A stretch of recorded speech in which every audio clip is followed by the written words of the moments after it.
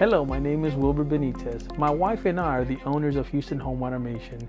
Before we started our own company, I used to work as a subcontractor for five of the most well-known commercial and residential automation services in the country. The common frustration that most of these customers had is that with so many TV mounts that exist, how to decide on the right TV mount for their specific location.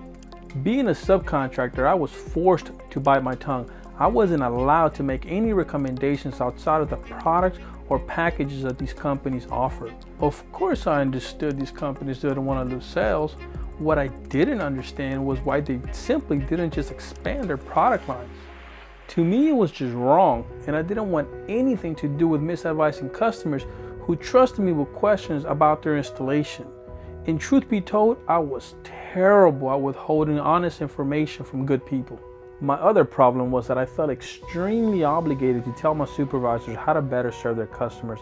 I've lost count on how many times they told me politely, do your job and we'll do ours. It turned out to be a blessing in disguise, but eventually I ran into the wrong supervisor, Mr. Williams, who didn't appreciate my two cents on more options equal happier customers and happier customers means more referrals. So he thought it'd be a good idea to suspend me for two weeks. As you may already know, if a subcontractor doesn't work, he doesn't get paid.